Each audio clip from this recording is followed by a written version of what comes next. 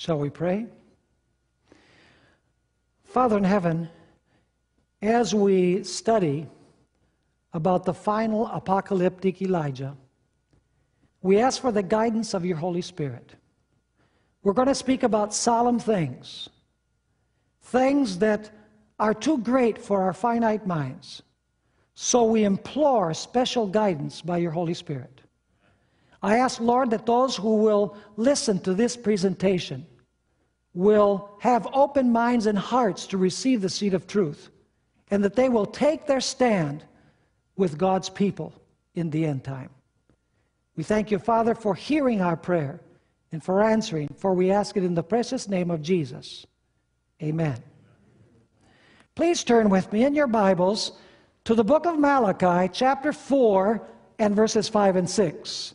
Malachi chapter 4 and verses 5 and 6. Here, God promises that before the great and terrible day of the Lord, He is going to send Elijah to planet Earth.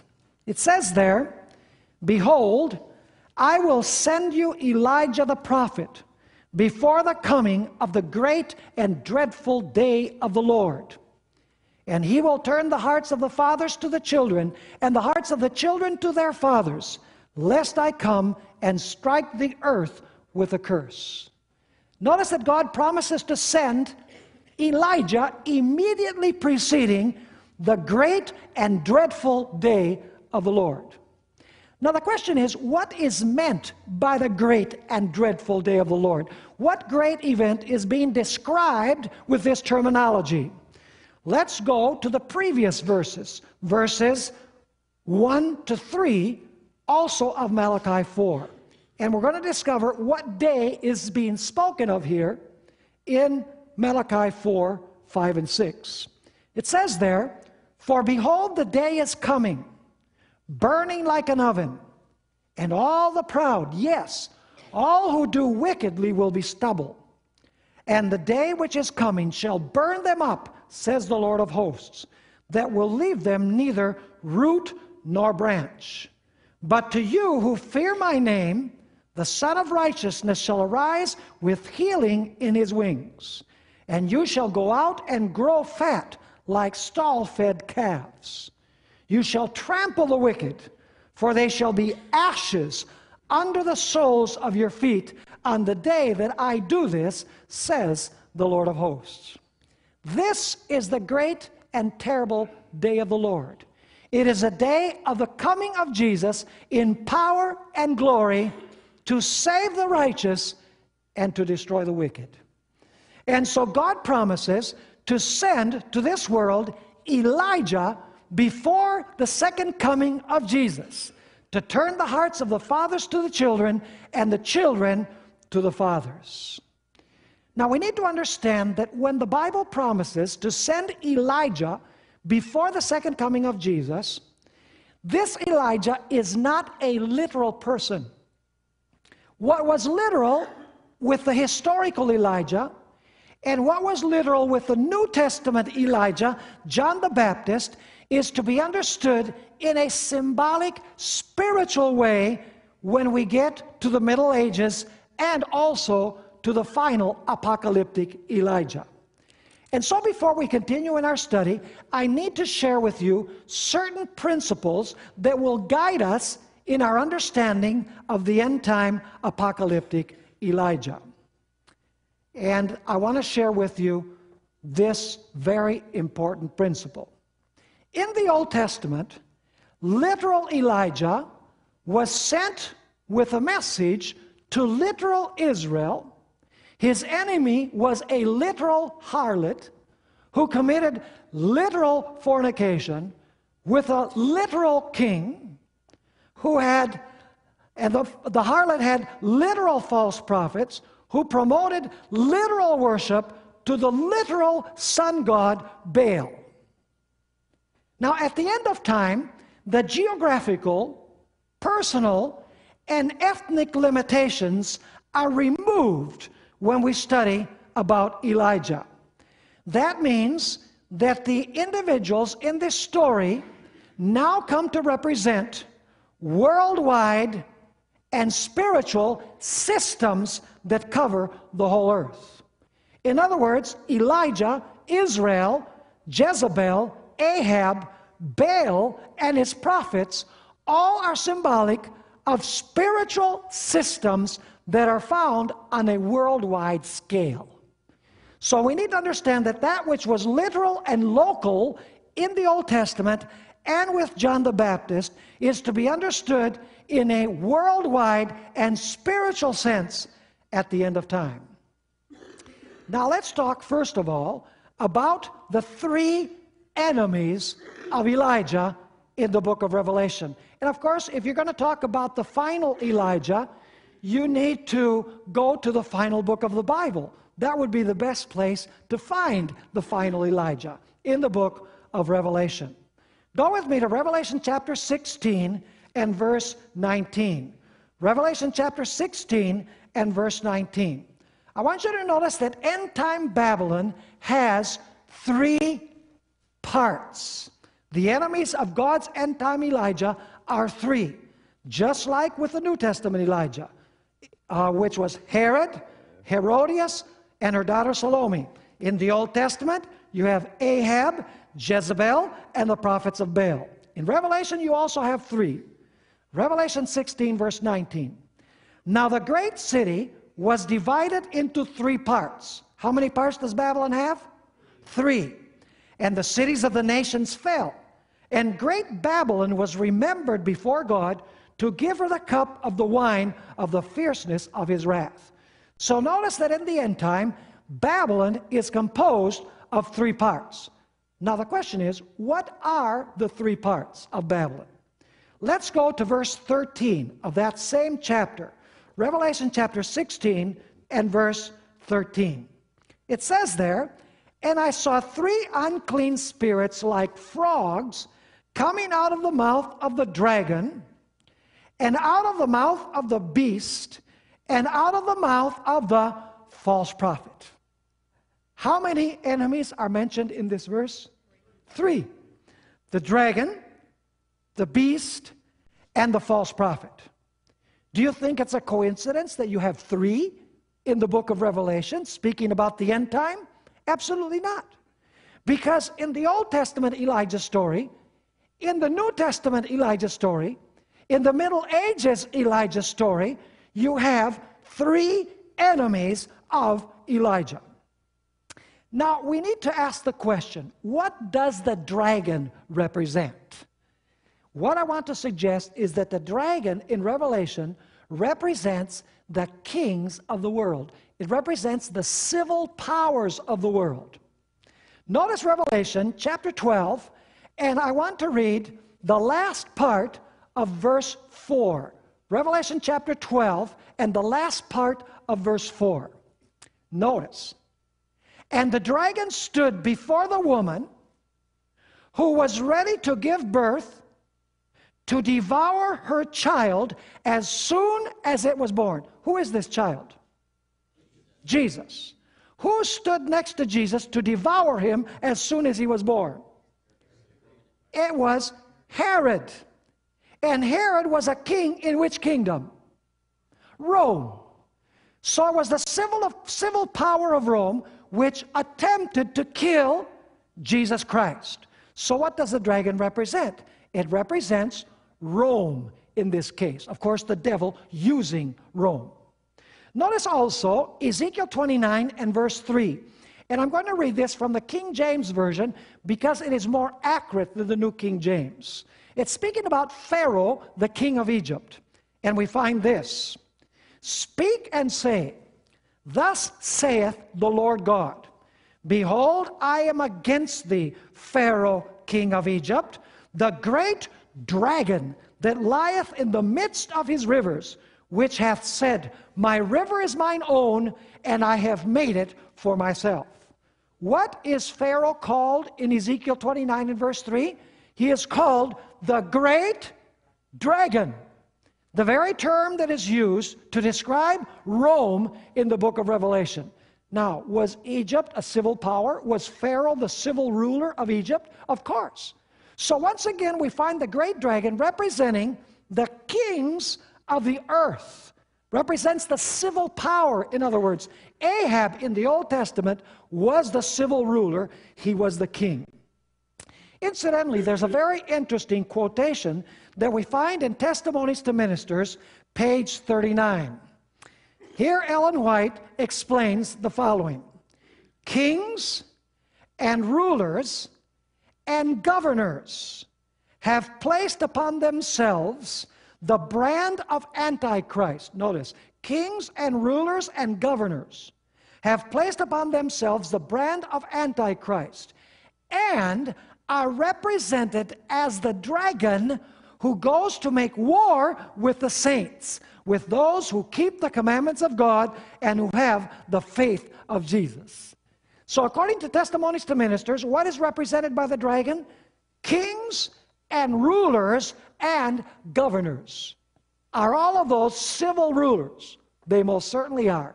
So the dragon would be equivalent to Ahab. It represents the civil power. Now, what about the beast? In our last lecture, we studied about the beast, which ruled for 42 months. The same as the little horn time, times, and the dividing of time the period of the church of Thyatira, the fourth church of the book of Revelation, the time that God gave this church to repent, chronological time. We already studied this. Now I want you to notice what this beast represents. Even though we studied it last time, we need to review it. Notice Revelation 13 and verses 1 and 2. Then I stood on the sand of the sea, and I saw a beast rising up out of the sea, having seven heads and ten horns, and on his horns ten crowns, and on his heads a blasphemous name. Now the beast which I saw was like a leopard, his feet were like the feet of a bear, his mouth like the mouth of a lion. And now notice this the dragon gave him, that is, gave the beast, his power, his throne, and great authority. Now, what does a dragon represent? we already noticed that the dragon represents Rome.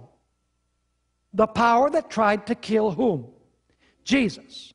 So it says that the dragon gave to the beast, according to this verse, he gave his power, his throne, and great authority. Now, here's my question To whom did pagan Rome give its power, its throne, and its authority? There's no doubt whatsoever, as you look at history, that a power succeeded the Roman Empire, and this power was ecclesiastical Rome.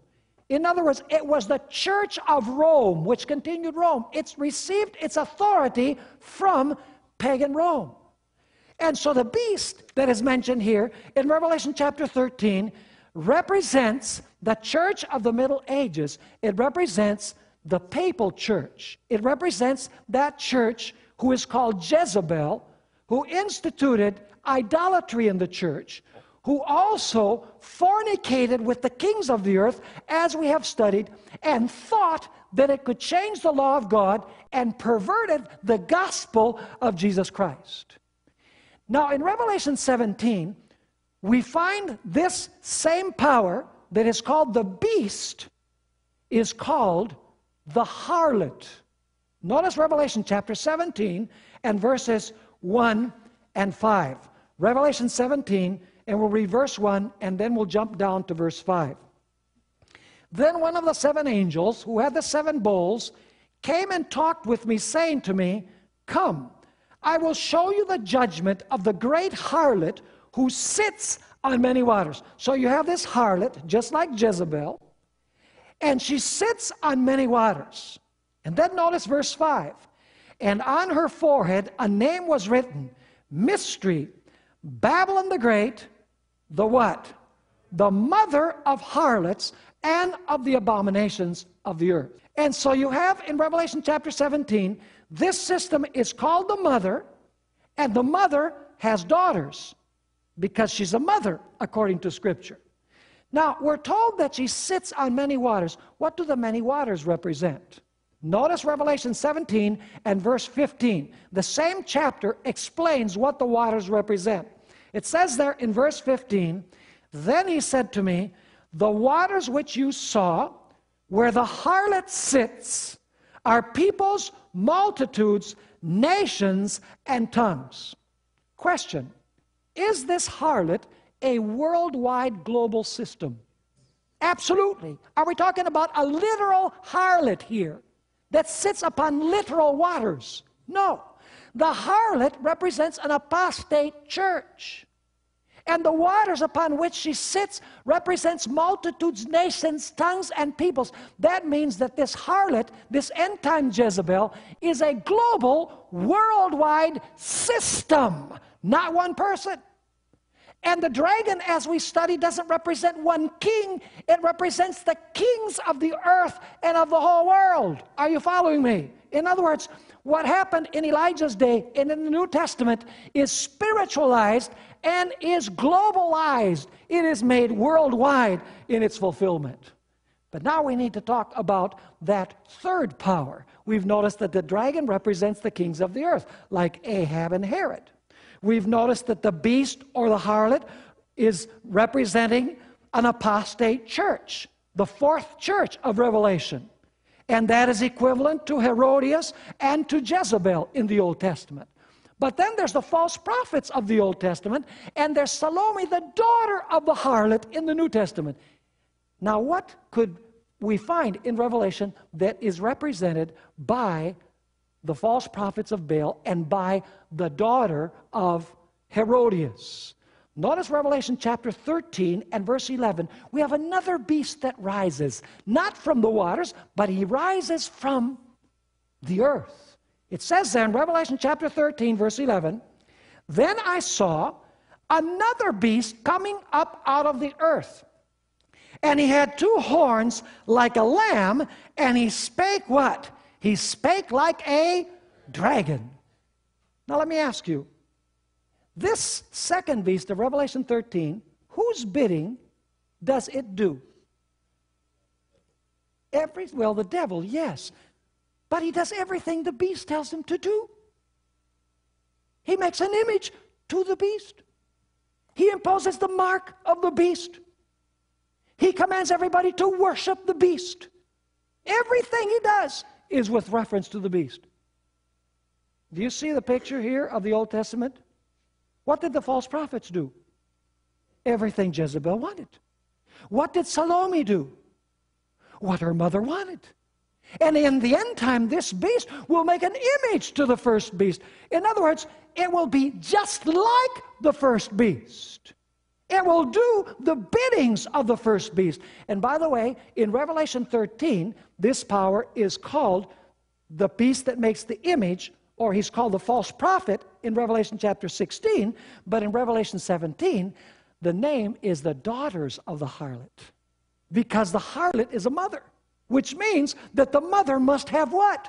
Must have daughters that sometime in the Middle Ages or, or close to the end of the Middle Ages were born from her, and in many ways, they practice the same things that she practices. They keep perhaps the same day of worship, for example.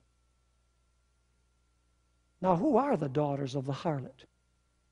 You know, I say this respectfully, but you read, for example, the writings of Pope John 23rd and Pope Paul VI the two popes that presided during Vatican Council II from 1962 to 1965, constantly in their writings, they call the Protestant denominations that were born from Roman Catholicism our separated daughters.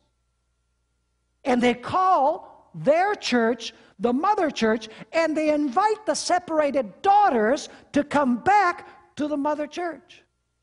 Very interesting, the terminology that is used. You see, during the time that Jezebel governed during the Middle Ages, that the beast governed, that the little horn governed, uh, basically the church used the state, like Jezebel used King Ahab. Like Herodias eventually used the king by using her daughter. But in 1798, something happened to this mother system. Something happened to this beast system. What occurred? the beast or the harlot received a what? Received a deadly wound, and therefore she no longer can influence the kings to do her biddings. Do you remember the story of the New Testament Elijah that Herodias wanted to kill John the Baptist, but she could not? Who did she need in order to kill John the Baptist? She needed her daughter. And in the same way, in the end time, this system no longer has influence over the kings of the earth because she has a deadly wound. But we find that this second beast, the daughters, are going to aid, they're going to intervene to allow this woman once again to use the kings of the earth to accomplish her purposes. Interestingly enough, in the story of the New Testament Elijah, you have these three terms that are used king, mother, and daughter. And then you have John the Baptist, who is called Elijah. In Revelation, you have also kings, the harlot mother who fornicates with the kings, and the daughters of the harlot. So in Revelation chapter 17, we find the fulfillment of this story. Now, do you remember that the Old Testament Jezebel was involved in the occult?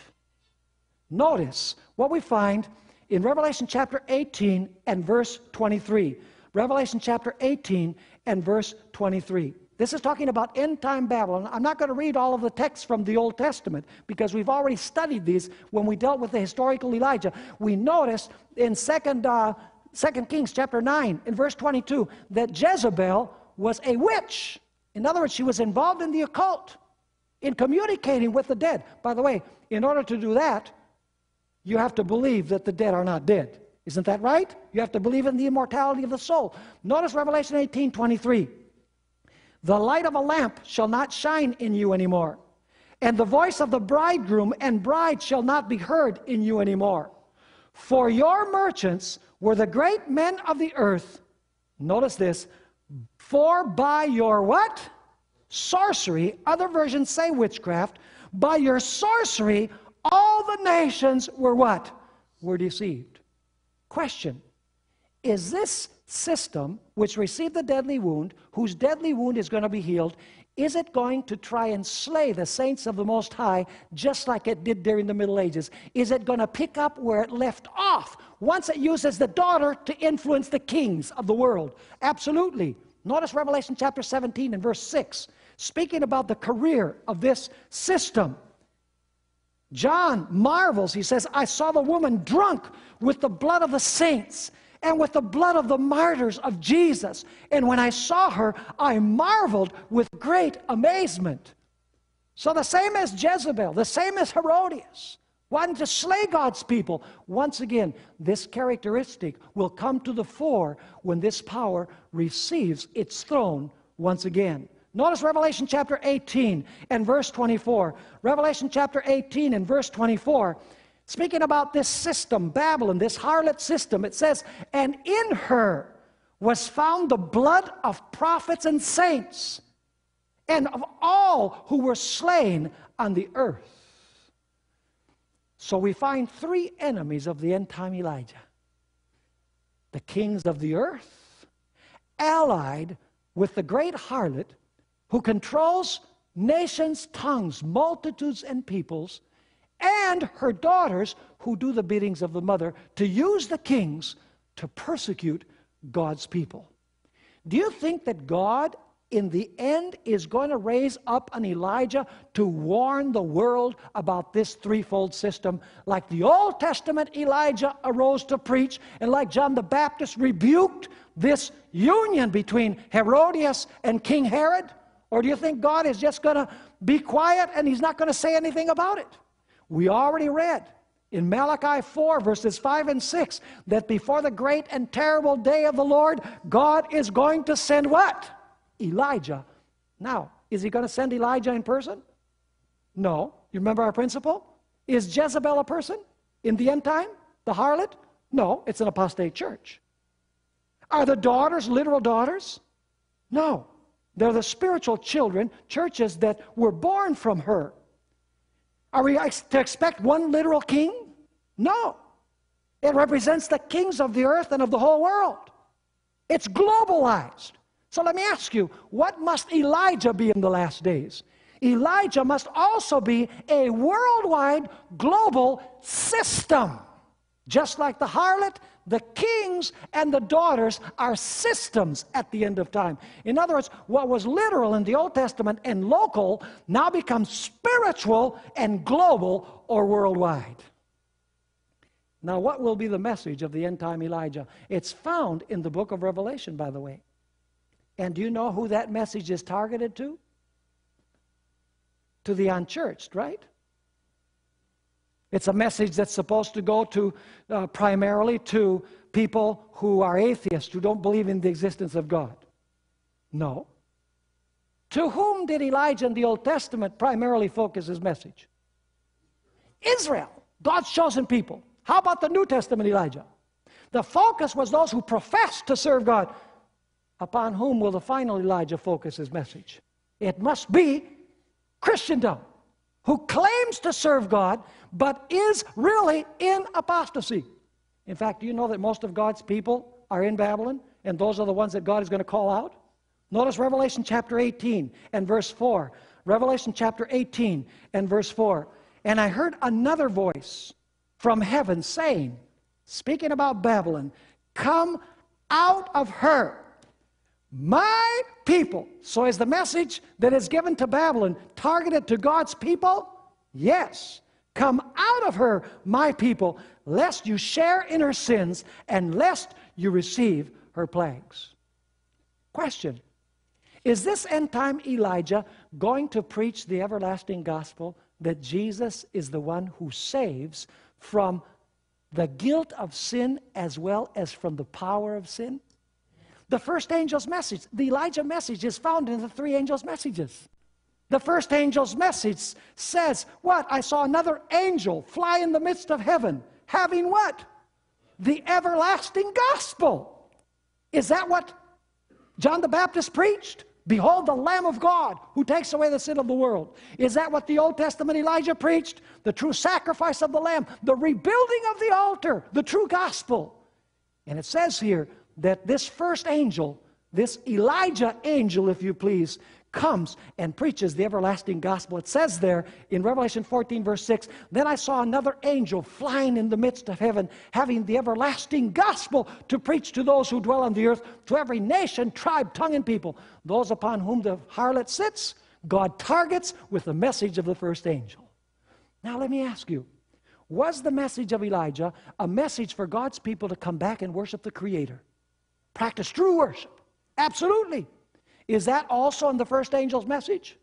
Notice Revelation chapter 14 and verse 7. It says, speaking about this first angel, saying with a loud voice, Fear God and give glory to him, for the hour of his judgment has come. And now notice, and worship him who made heaven and earth, the sea and springs of water. Does the first angel's message call people to worship the true God? Yes, it does. By the way, does the first angel's message also rebuke those who are practicing false worship like Elijah did? Yes, the third angel's message says, Beware to those who worship the beast or his image or receive his mark. Now, as I mentioned in a previous lecture, it is impossible to talk about worship without talking about the Creator. We worship God because God is the Creator. And the sign which God has given that He is the Creator is what? The Sabbath. So it's impossible to talk about the first angel's message, which calls us to worship the Creator, without talking about the Sabbath. In fact, the first angel's message makes a direct allusion to the fourth commandment of the holy law of God. In other words, it's a call for God's people to return to the observance of the Sabbath. Let me ask you, which day of the week do most Christians keep today? They keep Sunday. You see, at the end, it's not the literal sun that they're going to worship, they're too sophisticated for that. But they worship on the Sunday. By the way, let me ask you, where did Israel get sun get, get uh, the worship of the sun god from? Paganism. Where did the Christian church get worship on Sunday from? Paganism. Is there any difference? Not really. Anything that man establishes for worship, which God has not established for worship, is idolatry. And I've done this before, and I'll ask you once again who created the sun? God did. Did He create it for worship? No. So what happens if you convert it into an object of worship?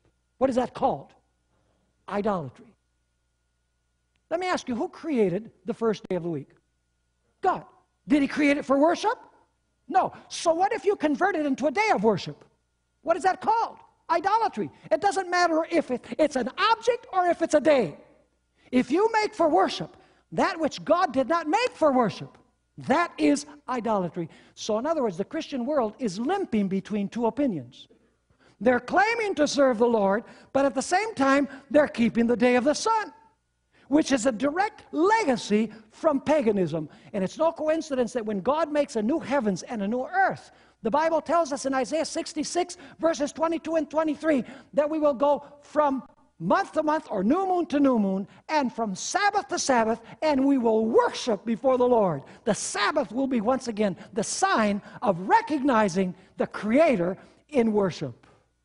By the way, does this end time Elijah also restore the commandments of God besides true worship and rebuking false worship? Absolutely. Revelation chapter 14, verse 12, which is the concluding verse of the three angels' messages, it says there, here is the patience of the saints. Here are those who what? Who keep the commandments of God and have the faith of Jesus. So are God's people going to restore the commandments of God like Elijah did and like John the Baptist did? Absolutely.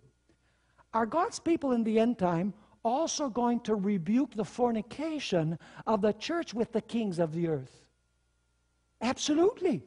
Just like John the Baptist rebuked the fornication between the king and Herodias. Just like Elijah rebuked the union of Ahab with Jezebel at the end of time, this union of church and state will be rebuked. In fact, notice what the second angel's message says. Revelation chapter 14 and verse 8. And another angel, angel followed, saying, Babylon is fallen, is fallen, that great city because she has made all nations drink of the wine of the wrath of her what? Fornication. And who is she fornicating with? Revelation 17, verses 1 and 2, tells us what her fornication is, what the fornication of this harlot church is. It says, Then one of the seven angels who had the seven bowls came and talked with me, saying to me, Come, I will show you the judgment of the great harlot who sits on many waters, with whom the kings of the earth committed fornication. So, how does she fornicate? With what? The kings. Same as in the past. And the inhabitants of the earth were made drunk with the wine of her fornication. Do you have wine involved in the story of John the Baptist? We studied this. Yeah, Herod was drunk. Do you have wine involved in the story of Jezebel in the Old Testament? Yes. You remember the Naboth's vineyard? Absolutely. Now, let me ask you do the three angels' message, messages speak about a separation, final separation between the righteous and the unrighteous, between those who have the seal of God and those who receive the mark of the beast? Is there going to be a judgment separation where there will be only two groups? Like in the days of Elijah. If the Lord is God, worship Him. If Baal is God, worship Him. Make your choice. You cannot be on the fence. In Revelation, do we find the same idea? Absolutely. Because Revelation presents two groups. One group has the seal of God, and the other group has what? The other group has the mark of the beast. In other words, as in the days of Elijah, there was a separation and a judgment. Revelation also speaks about a separation and a judgment. Now, let me ask you how much effect has the message of the Seventh day Adventist Church really had upon the world? You know, maybe we are 15 or 16 million out of a world that has close to 7 billion. Very little effect. You remember in the days of Elijah when he preached the message, even on Mount Carmel, the Bible says that they answered him not a word. Let me ask you, is the day coming when that's going to change? When the whole earth is going to be illumined with the glory of God, like Mount Carmel was illumined by the glory of God? Absolutely. Let's read about it.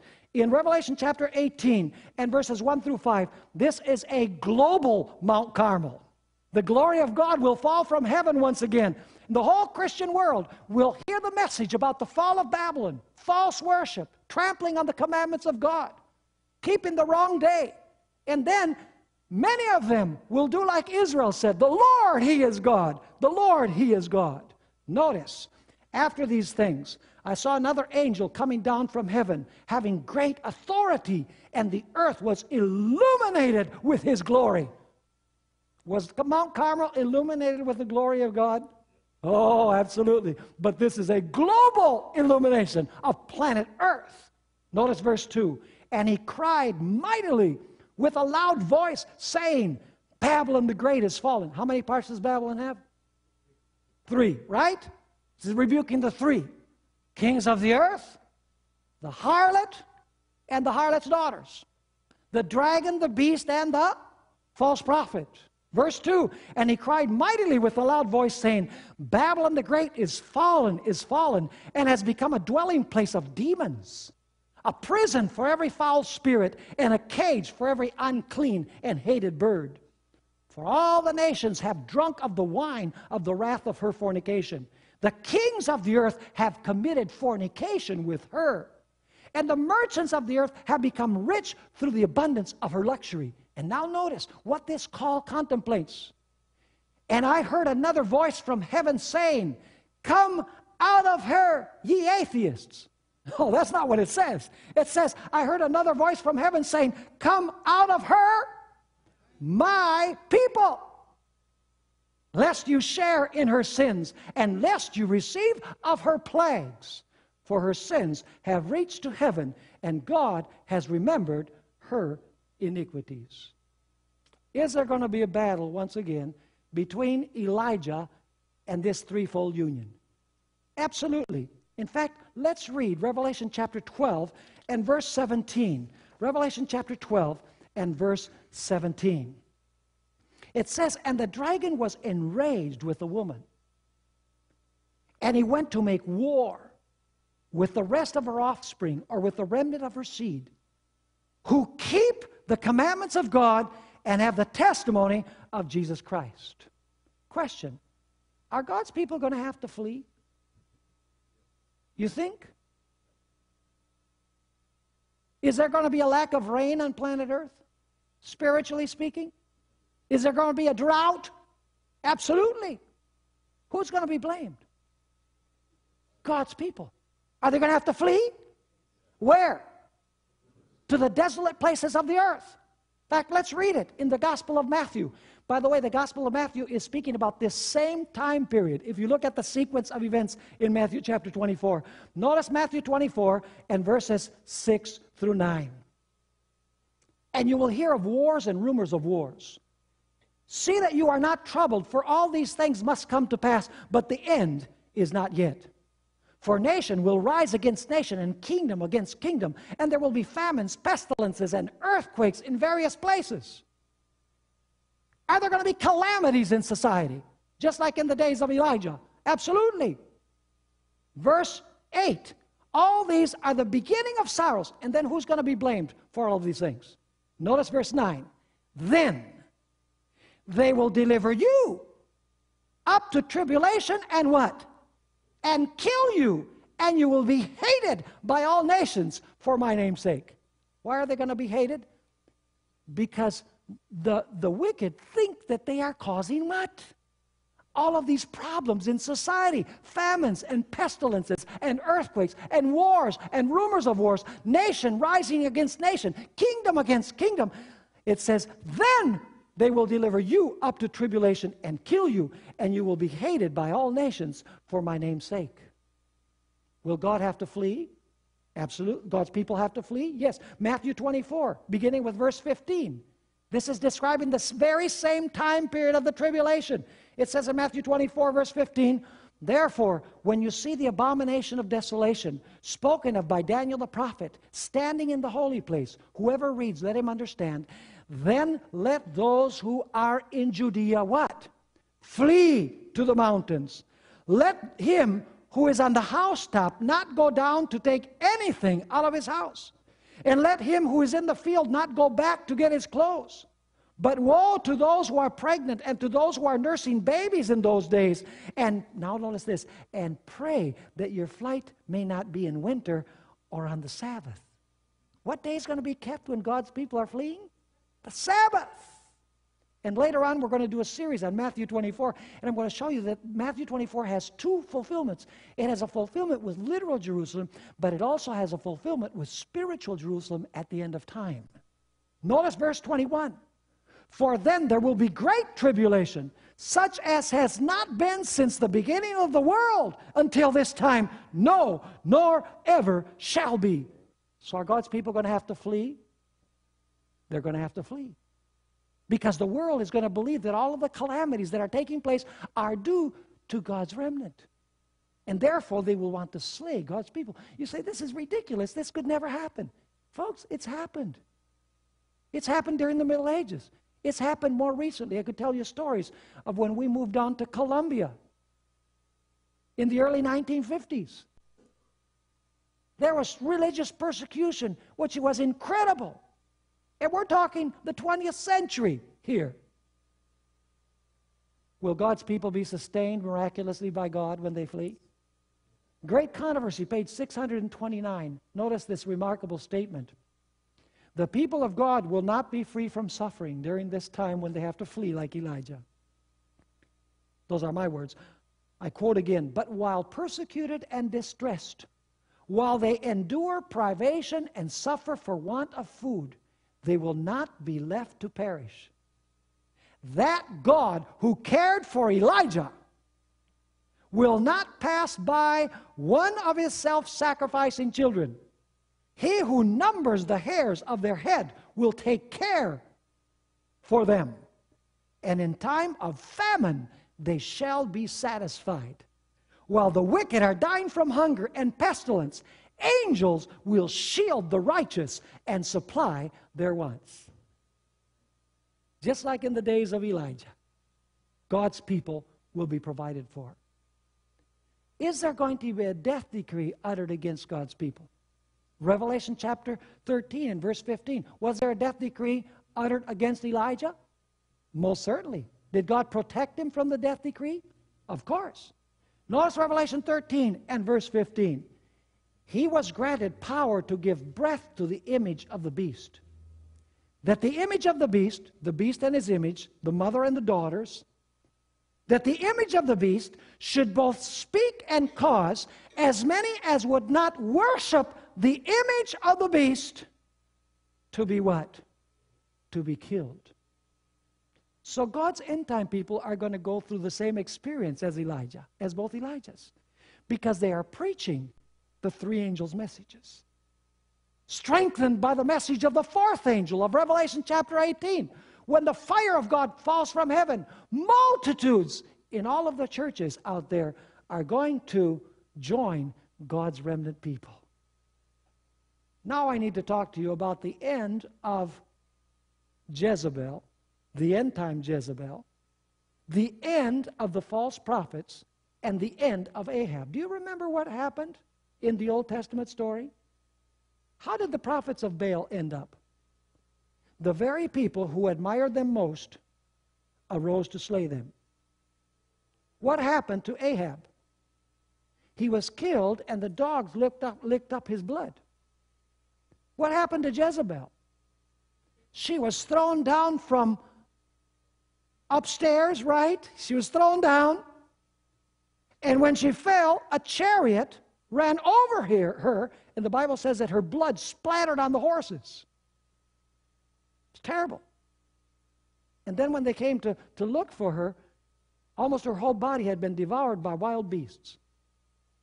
Is that the scenario of what's going to happen to those who fight against God's people in the end time? Listen to this statement that we find in the book Great Controversy. If I had time, I would uh, look at Revelation chapter 16, verse 12, the drying up of the Euphrates. See, the harlot sits on many waters. She controls the multitudes of the worlds, of the world. But the Bible says that the, that the waters are going to be what? Dried up. That means that the waters are going to withdraw their what? Their support. And then they're going to arise to destroy the system that deceived them. Notice this remarkable comment in Great Controversy 655 and 656. The people see that they have been deluded. This is at the moment of the sixth plague. They accuse one another of having led them to destruction, but all unite in heaping their bitterest condemnation upon the ministers. Unfaithful pastors have prophesied smooth things. They have led their hearers to make void the law of God and to persecute those who would keep it holy. Now, in their despair, these teachers confess before the world their work of deception. The multitudes are filled with fury. Read what happened at Mount Carmel after the fire fell from heaven, how the people felt towards those who had deceived them. She continues saying this The multitudes are filled with fury. We are lost, they cry, and you are the cause of our ruin. And they turn upon the false shepherds. The very ones that once admired them most will pronounce the most dreadful curses upon them. The very hands that once crowned them with laurels will be raised for their destruction. The swords which were to slay God's people are now employed to destroy their enemies. Everywhere there is strife and bloodshed. Do you remember the end of Jezebel? The king came in his chariot, and Jezebel said, Hey, here's another king, Jehu. I'm going to use him the way I used Ahab. And so she, ta- she talks to him from the, from the uh, uh, window. She says, Oh, how are you, Jehu? And Jehu says, Who's on the Lord's side? Who? And two of the servants that were up there, what did they do? They pushed her out the window. In other words, the king no longer was going to be used. He turned against the harlot. Notice Revelation chapter 17, verses 16 and 17. What's going to happen with this harlot? It says, in the ten horns, by the way, the ten horns are king, ten kings. The number ten represents the kings of, of the earth and of the whole world. And the ten horns, which you saw on the beast, these will what? Will hate the harlot, just like Jehu, and make her desolate and naked, eat her flesh and burn her with fire. And by the way, are the wicked going to be trampled upon by horses, symbolically speaking? Notice Revelation chapter 14. See, the book of Revelation picks up all of this terminology from the Old Testament, and it's speaking about a global, universal fulfillment of it. See, it's, it's not one king who is going to turn against a literal harlot queen. It is all of the kings of the world that are going to turn against this harlot system which has deceived them and used them. It's not only literal Israel taking 450 prophets and slaying them, it's going to be all of the ministers of the world that are going to be sought out by all of those who have been deceived by them. Now, notice Revelation 14, verses 19 and 20. Revelation 14, verses 19 and 20. It's a serious thing to be a preacher. Hello? Because, because if I'm teaching you falsely, you say, oh, he preaches so nice. Hallelujah. Wow. And I deceive you? Someday you're going to look for me, not to pat me on the back, but to want to destroy me because I've deceived you. It's a serious thing to be a spiritual leader. It's a serious thing to be a teacher of the Word of God. We have to be faithful to the Word.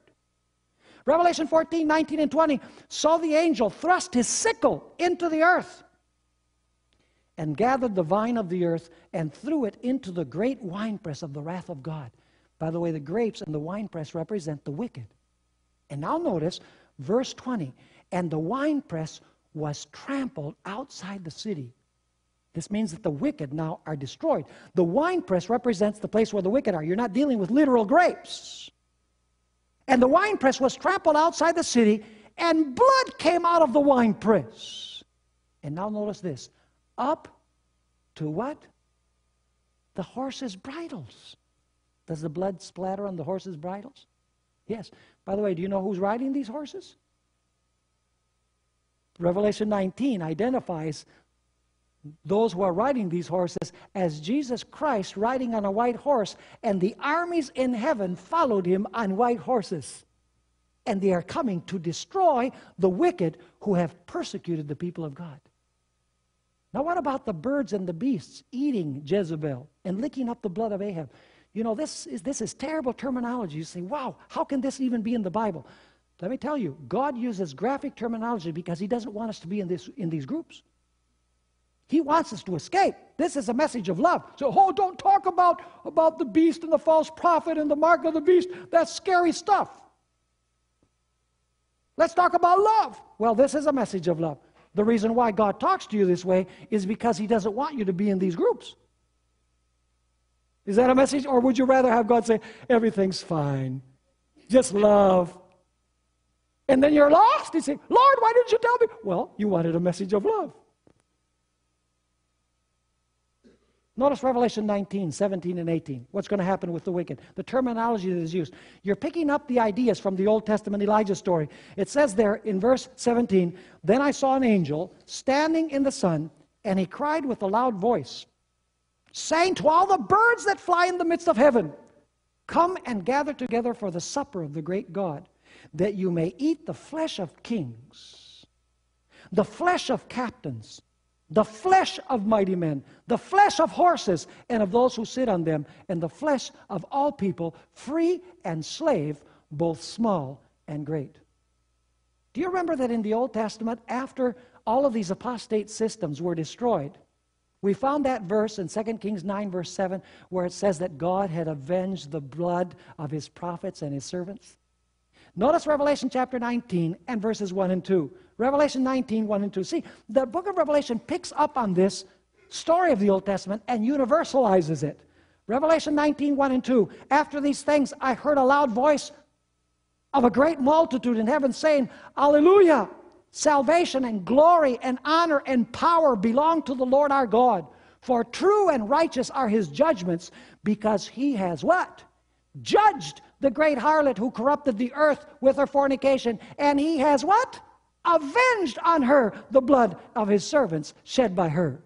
Revelation 18, verse 20, uses the same terminology. Rejoice over her, O heaven, and you holy apostles and prophets, for God has avenged you on her. The book of Revelation is picking up on the Old Testament story, but it is universalizing this. And after these systems come to their end, or at the time that they come to their end, then you will see that cloud. Remember the cloud that Elijah saw? There was a delay. He had to go seven times, the servant, to see. And there was no cloud, no cloud. Finally, he sees that cloud about, about the size of a man's hand. Listen to great controversy 640 and 641. Soon, there appears in the east a small black cloud about half the size of a man's hand. It is the cloud which surrounds the Savior and which seems in the distance to be shrouded in darkness. The people of God know this to be the sign of the Son of Man. In solemn silence, they gaze upon it as it draws nearer to the earth, becoming lighter and more glorious until it is a great white cloud, its base a glory like consuming fire, and above it the rainbow of the covenant. Jesus rides forth as a mighty conqueror. Allow me to read another statement of Ellen White about when Jesus actually is near the earth and he can be seen. This is great controversy, page 645. And then I'm going to show you where she's coming from in the Bible. She says, speaking about when the angels come, she says, on each side of the cloudy chariot are wings. So God is, Jesus is going to come in a chariot, according to this. On each side of the cloudy chariot are wings. And beneath it are living wheels. What's this? A chariot with wheels? What was it that came to pick up Elijah? Hello, a chariot with wheels. And as the chariot rolls upward, she continues saying, The wheels cry, Holy. Ah, the wheels are angels. And the wings, as they move, cry, Holy. And the retinue of angels cry, Holy, holy, holy, Lord God Almighty. And the redeemed shout, Hallelujah as the chariot moves outward, onward toward the New Jerusalem. This is speaking about the ascension to heaven. But in order to go up, it has to what? It has to come down. You say, now I thought Jesus was going to come with clouds of angels. What's this about a chariot? Well, do you know that the Bible speaks about God's angels being his chariots? Notice Psalm 68 and verse 17. Psalm 68, verse 17. The chariots of God are 20,000, even thousands of thousands. The Lord is among them as in Sinai in the holy place. What are God's chariots? His what? His angels. By the way, do you remember that when they, were, when they wanted to kidnap Elisha because God was showing him always what the king of Syria was doing? So he said, we need to kidnap this guy so that he doesn't uh, give away, you know, our position and so on. Notice 2 Kings chapter 6 and verse 17. Interesting. And Elisha prayed and said, because they came, surrounded the city, and there looked, it looked like Elisha was going to be taken away. And Elisha prayed and said, Lord, I pray, open his eyes that he may see. That is of his servant. Then the Lord opened the eyes of the young man, and he saw, and behold, the mountain was full of horses and chariots of fire all around Elisha. What were those chariots of fire? Angels. What came to rescue Elijah at the end of his ministry? a chariot of fire. What will come to rescue God's people at the very end of time? The chariot of God. The charity of Ezekiel chapter 1, where it speaks about wheels and God sitting on his throne, surrounded by all of the heavenly hosts. The Apostle Paul describes this in 1 Thessalonians 4 15 through 17. For this we say to you by the word of the Lord, that we who are alive and remain until the coming of the Lord will by no means precede those who are asleep, for the Lord himself will descend from heaven with a shout, with the voice of an archangel, and with the trumpet of God, and the dead in Christ will rise first.